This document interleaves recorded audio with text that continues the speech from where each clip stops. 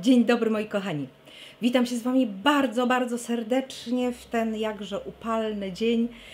I słuchajcie, jest dość rano, więc e, jeszcze dam radę, wiecie, pozamykałam tu wszystko na szczelnie, a jakby na noc otwieram. W nocy była burza, w ogóle jestem tak niewyspana, bo przez chyba 3 czy 4 godziny Chester siedział na mnie, bo wiecie, grzmiało, błyskało się, on się tak potwornie boi, że masakra.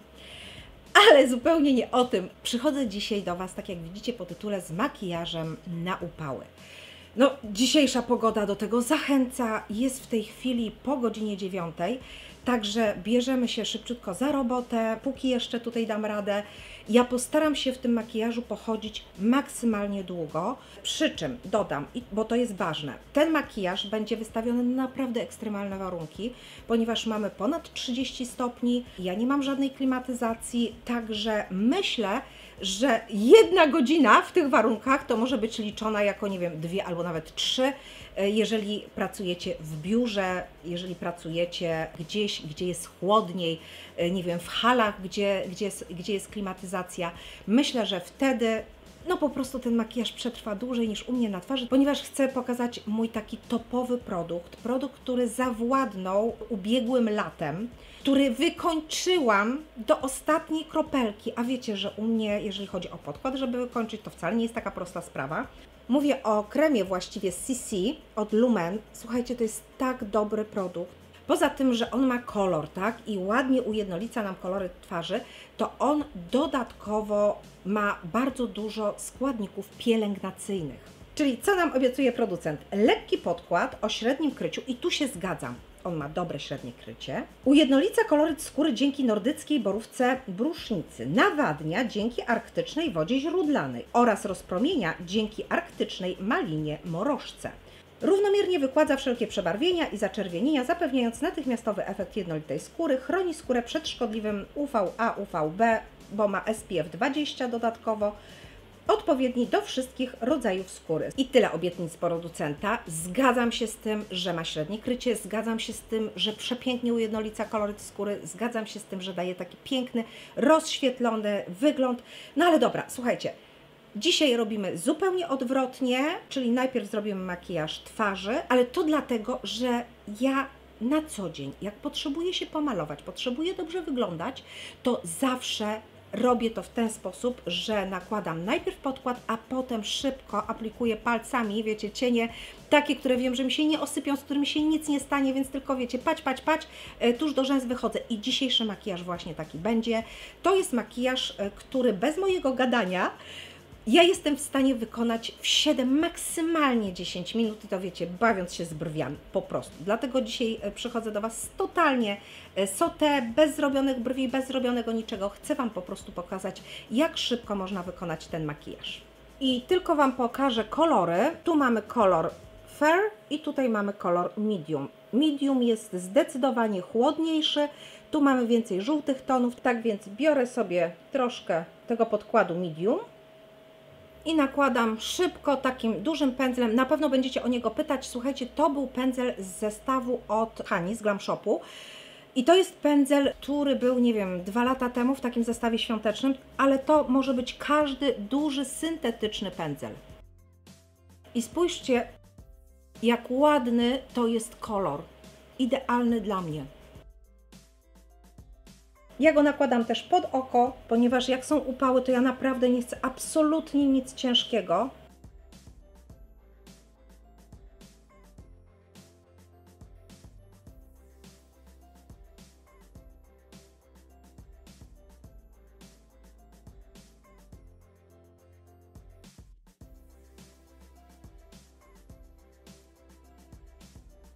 I już Was przybliżam, żebyście zobaczyli z bliska, jak pięknie wygląda skóra. Mam taki ładnie ujednolicony z ciałem koloryt, a wiecie, latem, kiedy właśnie zakładamy coś na ramionczka, coś z odkrytymi ramionami, to naprawdę nasza twarz musi zgrywać się tutaj z resztą ciała, bo zimową porą możemy założyć jakiś golfik. Generalnie mamy bardziej tutaj pod szyję zabudowane jakieś sweterki czy coś takiego, zakryte ramiona. Latem to nie przejdzie. Po prostu będzie to źle wyglądało. Jeżeli ujednolicicie ładnie sobie koloryt skóry, a na przykład macie tak jak ja naczynkowy dekolt i jeżeli tutaj nie będzie to wszystko grało jedno z drugim, nie będzie to dobrze wyglądać. Chodźcie. I zobaczcie, jak to wszystko pięknie wygląda. E, Spójrzcie, tutaj to moje przebarwienie jest widoczne, ale ono tak bardzo się nie rzuca w oczy, w sensie ono mi tak strasznie nie przeszkadza. Bardziej przeszkadzają mi naczynka rozszerzone. I e, to, że moja twarz jest taka, wiecie, bardzo zaczerwieniona, a w tej chwili wszystko jest ujednolicone. Skóra wygląda po prostu jak skóra. Także cóż, jedziemy dalej. I kolejny etap to jest przypudrowanie tego wszystkiego. Tak, przypudrowanie, dlatego że to jest podkład, ale zobaczcie, on się nie ściera, on się przesuwa, ale się nie ściera. I teraz przypudruję pudrem klasyk z Glam Shopu i dobrze wiecie, że ja ten puder po prostu uwielbiam, bo on jest leciutki, ale dodaje odrobinę krycia, cudownie bluruje i naprawdę skóra wygląda rewelacyjnie.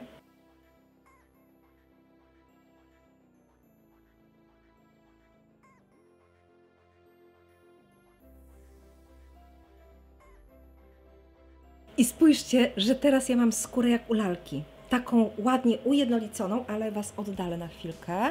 Natomiast zobaczcie, jak spójnie wygląda moja twarz z resztą tutaj ciała. A tak w ogóle, bo pewnie pojawią się pytania, słuchajcie, bluzeczkę kupiłam przez internet. Ja bardzo często kupuję, słuchajcie, na Facebooku jest taka grupa, to jest właściwie sklep taki XXL, e, Szałajko Szałajko Jacek Odzież XXL chyba. E, dam Wam na dole link. To jest taka bawełenka, bawełenka, bardzo fajnie wyglądająca bluzeczka. W ogóle to weźcie mi napiszcie, może ja bym się złamała i zrobiła taki filmik odzieżowy, taki hol zakupowy, ciuchowy, bo wiecie, ja noszę rozmiar 46 i najczęściej w Zarach i tym podobnych, HM-ach, nawet jeżeli coś jest większe, to to jest tak workowate.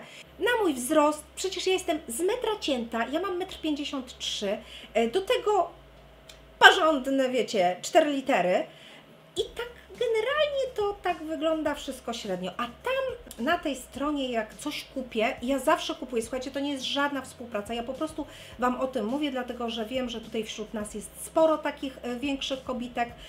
I wiem, jak ciężko jest kupić coś fajnego, niebabcinego, e, takiego, w czym będziemy czuły się, wiecie, świeżo, młodo, w miarę modnie i swobodnie. O, i mi się zrymowało. Dobra, chodźcie, jedziemy dalej z makijażem. No to teraz jak się przypudrowałam, to zrobimy sobie szybciutko brwi.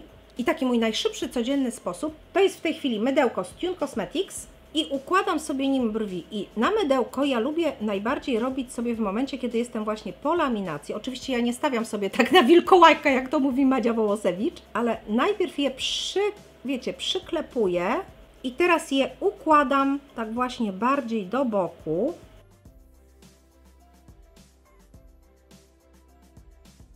Teraz łapię zakredeczkę numer 1 z Glam Shopu.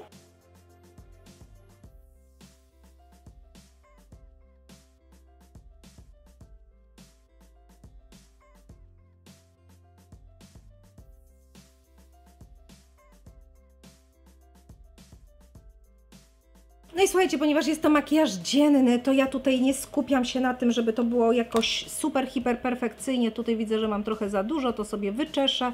Generalnie chodziło o to, żeby troszeczkę domalować objętości od dołu i tyle. I tu od góry już nic nie będę ruszać. No i słuchajcie, przechodzimy do gwiazdy dzisiejszego dnia, bo naprawdę ten mój makijaż dzisiaj będzie ultra, ultra szybki. Widziałyście, nałożenie podkładu, moment, pach, pach, pach pudrem. Najdłużej mi się zeszło z wyczesaniem i tutaj dorysowaniem tych brwi. A teraz przechodzimy do gwiazd programu, czyli do paletki z pastelami z Glam Shopu. I słuchajcie, powiem Wam tak, to jest letni sztos. To są letnie hity. O, i teraz dobrze widzicie kolory, ale powiem Wam tak, że nic bardziej mylnego, nic, nic, nic bardziej mylnego, bo to na przykład y, wygląda jak taki y, turkusik leciutki, a spójrzcie.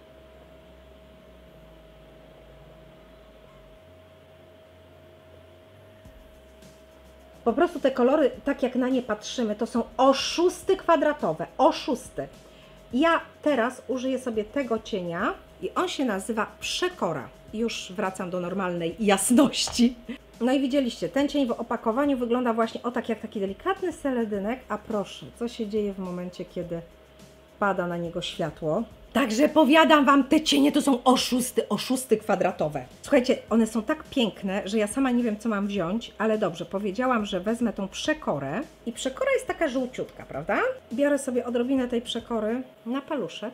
Słuchajcie, obraz musi być troszkę przyciemniony, żebyście widzieli te odcienie, bo one są tak wielowymiarowe, że żeby to oddać, to po prostu klękajcie narod. Widzicie, jest żółty w podtonie, znaczy w bazie, w bazie mamy żółty i odbija na różowo, różowo-morelowo. E, To weźmę sobie, ja wezmę tylko odrobinę bazy z Inglota, ponieważ tu nie kładłam żadnego korektora, nic. Bo wiecie, przy takich upałach to, żeby to dobrze nam się działo na oczach, nie zrolowało się od tego, że, że się po prostu spocimy fizycznie, tak? No to przyda nam się troszkę bazy. I od razu na paluszek przekora.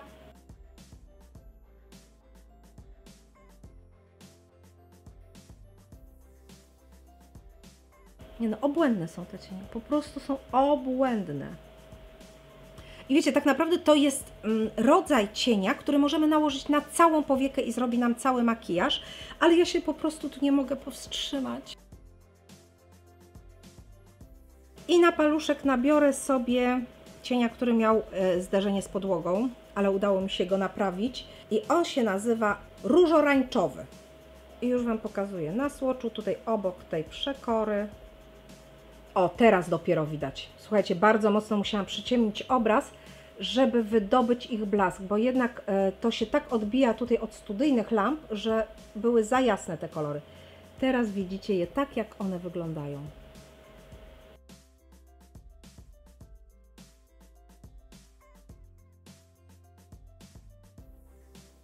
Róża rańczowy jest na dole, przekora na górze. Róża rańczowy położymy sobie od tej strony. I spójrzcie, one po prostu wyglądają prawie że jak jeden cień, tylko od tej strony jest bardziej tak cytrynowo, jak ruszę głową, a tu od tej strony bardziej morelowo. Wiecie, celowo nie nałożyłam tutaj nic, co by było takie e, bardzo kontrastowe jedno do drugiego, bo to też można by było zrobić, ale po prostu chciałam, żeby to był efekt właśnie jednego cienia na powiece, tylko takiego niesamowicie wielowymiarowego. No po prostu obłędne są, obłędne. To wiecie co, mam jeszcze ochotę na żółty, żółty tutaj w kąciku i tutaj mamy taki chyba najbardziej żółty. To jest cytrynian i cytrynian wygląda w ten sposób. Widzicie? Nie ma cienia? Jest cień. Nie ma? Jest. I jego sobie włożę tu w wewnętrzny kącik trochę. Tak mi się chce takiego żółtego. O. I spójrzcie, jak one się ze sobą łączą, tak, że nie jesteśmy w stanie powiedzieć, o co tutaj chodzi. Bo jak ja odwrócę głowę tak, to tutaj mam, e, że tak powiem, żółto, żółto, żółto. Ale dopiero jak odwracam tak, to tu nagle się robi morelkowo-różowo. Obłęd. Obłęd, proszę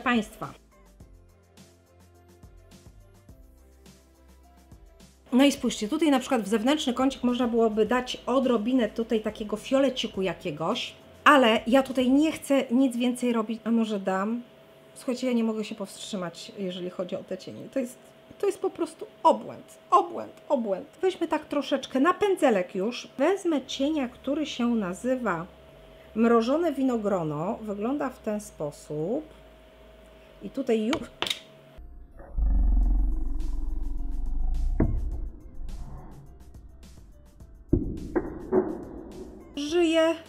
Dobrze, że ja mam tutaj ułożony, wiecie, y, ten ręcznik papierowy. Ja go sobie wezmę do zewnętrznego kącika odrobinkę. No nie no, ten makijaż nie będzie w 10 minut. Przepraszam Was, naprawdę miałam, miałam szczere chęci. Ale muszę, muszę, bo się uduszę. Troszeczkę. I nim sobie wjadę tu w załamanie. A co?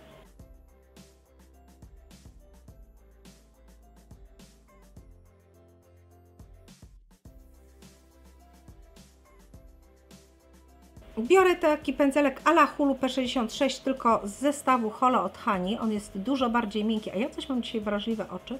I sobie tylko rozcieniuję granice tutaj tego, co zrobiłam. Teraz biorę taką kuleczkę, to jest KM04, czyli Karolina Matraszek. To, jest, no, to są najnowsze pędzle od Afektu i powiem Wam tylko tyle, taki mały spoiler. Karola jest mistrzynią. Serio. I sobie tylko tutaj tak to delikatnie rozetrę do wewnętrznego kącika, bo tutaj palcem już nie dotarłam. Obłęd na tych oczach, nie? To mi się tak podoba, że nawet sobie sprawy nie zdajecie. No to teraz jeszcze biorę cały czas ten fiolet na dolną powiekę. Spójrzcie, że to jest cień e, błyszczący. Wiecie, jak rzadko u mnie można widzieć błysk na dolnej powiece. No i teraz chce mi się takiego różu, on się nazywa rozgrzany, na ten sam pędzelek i od wewnętrznego kącika.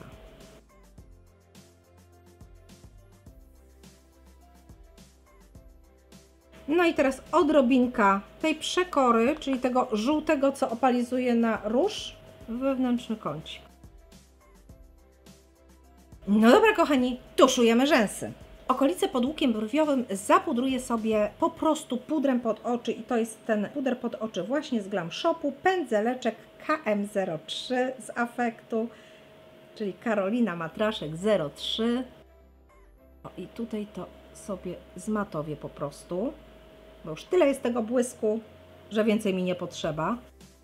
No i całość wytuszuję sobie tuszem od Gosza, ponieważ on bardzo szybko to robi. E, wiecie, ładne rzęsy zostawia, więc raz, dwa, trzy. Nie ma się z czym bawić. Bez przyciemniania linii rzęs. Przyciemniam to w taki sposób, jak Was uczyłam. Czyli szczoteczką, tylko szczoteczka musi być w miarę miękka. Dojeżdżam do samej nasady rzęs, taki gzygzaczek i jedziemy. Gzygzaczek jedziemy. Gzygzaczek jedziemy. I zobaczcie, że sama przyciemnia się linia rzęs.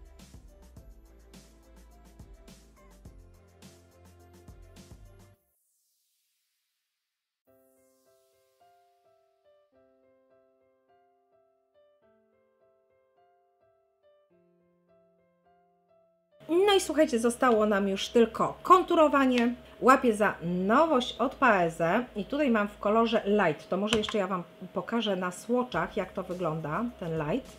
O, wyglądają one w ten sposób. I przy mojej karnacji e, takiej średniej, ja mam po prostu taką średnią karnację, mimo tego, że jestem jasną blondynką, to moja karnacja jest dość ciemna w stosunku do tych włosów siwych, więc dla mnie ten light jest wystarczający i Wezmę sobie tego jaśniejszego najpierw, żeby w ogóle Wam pokazać, jak on się zachowuje. Widzicie? Do takiego dziennego makijażu w zupełności wystarczy. Pędzeleczek oczywiście z afektu. To jest ten KM01. Idealny właśnie do konturowania. Do konturowania, do nanoszenia pudru takiego bardziej punktowego. No super pędzel. No i włosie jest tak miękkie, że wow.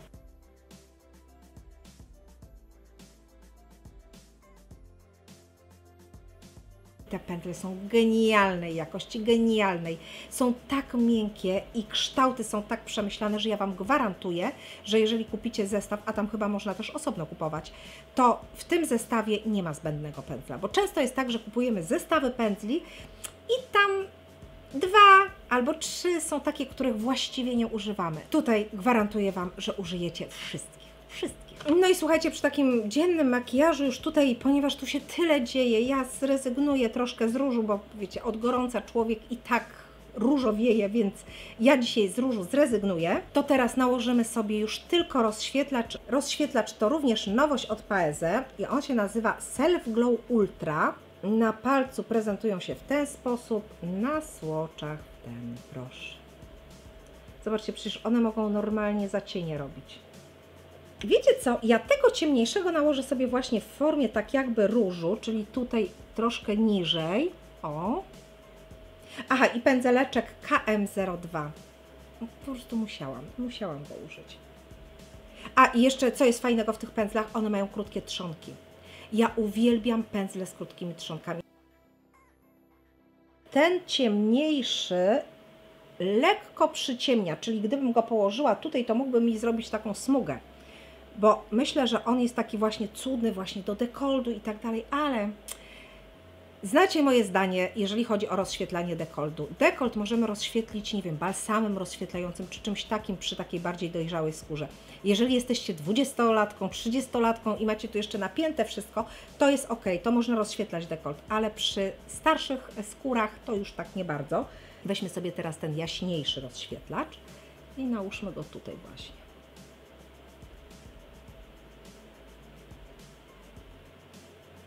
Czy Wy to widzicie? Ja, nie, ja go tylko tak delikatnie dotknęłam, słuchajcie. Ale czad. No taki właśnie na lato idealny. Bronzer też się, zobaczcie jak ładnie wszystko się e, zgrało. No i dobrze, moi kochani, zostały nam już tylko usta i dzisiaj użyję sobie pomadeczki numer 8 od Lumen, bo to jest taki właśnie taki delikatny różyk, będzie dobrze korespondował z tym makijażem, a jednocześnie nie będzie zbyt nachalny.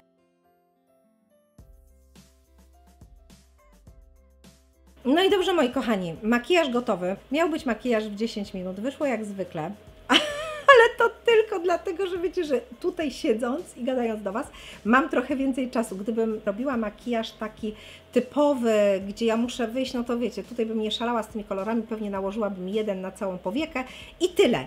I tym, co bym kładła na dolną powiekę, na, nałożyłabym to też e, jakby w załamanie. I taki był plan. No ale jak zaczęłam dotykać tych e, pasteli, no to nie mogłam, no nie mogłam. No widzieliście sami, nie mogłam. No ale może dzięki temu jakoś przybliżyłam Wam te pastele, może gdzieś pomogłam w podjęciu decyzji. Słuchajcie, ja zaczynam to testować. Mam nadzieję przyjść tutaj, jeszcze zdążyć przyjść do Was na jakieś delikatne podsumowanie, ze względu na to, że e, pewnie Krzysio wpadnie do domu i o, znaj mi, że lecimy na basen, bo ja już nie mogę i to będzie, wiecie, takie i trzeba będzie szybko to zmywać. W każdym razie postaram się właśnie tutaj przyjść, posiedzieć jak najdłużej. Mamy godzinę 10.19, czyli tak naprawdę tutaj siedząc, gadając z Wami, przegadałam godzinę. Ale to i tak dobrze, bo, za, bo często zajmuje mi to 3. No, a potem muszę z tego zrobić najlepiej 20 parę minut, nie? No, z dzisiejszym powinno pójść prościej. No więc, kochani, to ja Was całuję, ściskam i widzimy się za chwilkę. Kochani moi, no to jestem na podsumowaniu. Słuchajcie, mamy godzinę 17.24. Wiem, ten test nie jest testem takim bardzo długotrwałym, tak jak ja zazwyczaj robię.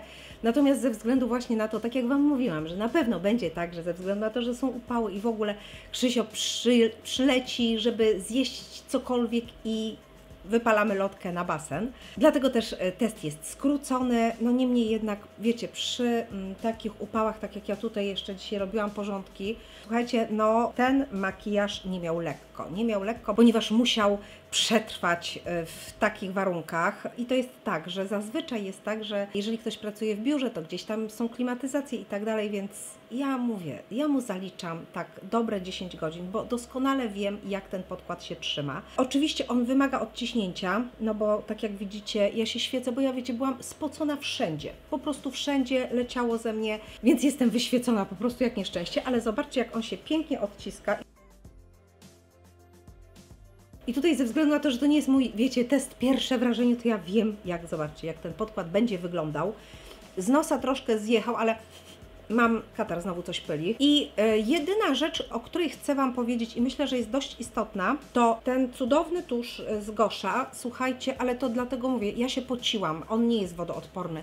Spójrzcie, tutaj mi się delikatnie odbił, ale to nie jest jakieś masakryczne odbicie i za to, co robi z moimi, naprawdę, kiepskimi rzęsami, to ja jestem w stanie mu wybaczyć i dalej bić pokłony, także gosz, świetna robota. Jeśli chodzi o cienie, no to co ja mam Wam powiedzieć? Wszystkie kolory były pokazywane na live. Tutaj macie linka do tego live'a.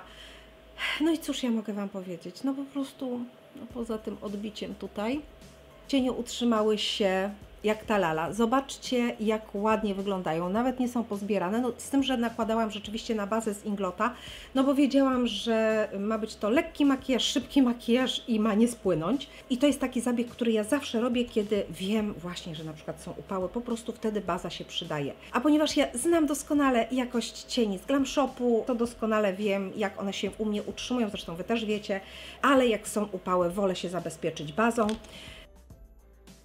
No i zobaczcie, poprawiłam tylko usta, odcisnęłam i tak naprawdę mogłabym funkcjonować dalej bez żadnych poprawek, choć e, tak naprawdę ten CC krem bardzo dobrze by się tutaj dołożył w okolicy nosa, ale już tego robić nie będę, bo właśnie śmigam do łazienki szybciutko, żeby dokładnie się zmyć i lecimy na basen. Także kochani, ja Was ściskam, całuję przepięknie, dziękuję za to, że jesteście i bardzo Was proszę, ale to bardzo Was proszę, napiszcie mi, koniecznie mi napiszcie, czy bardzo Wam zależy na takim makijażu w 10 minut. Jeżeli tak, to dajcie mi znać koniecznie w komentarzach. Ja co prawda ostatnio mam deficyt czasowy i nie, nie odpisywałam na Wasze komentarze, ale ja je czytam i poodpisuję. Natomiast proszę Was, jeżeli chcecie, żebym zrobiła makijaż w 10 minut, taki właśnie na upały, żeby Wam pokazać, jak to się robi, to dajcie mi znać. No bo dzisiaj, dzisiejszy makijaż to ja tutaj nie będę śmiać. On nie zajął 10 minut, bo widział, widzieliście, że bawiłam się tutaj tymi cieniami.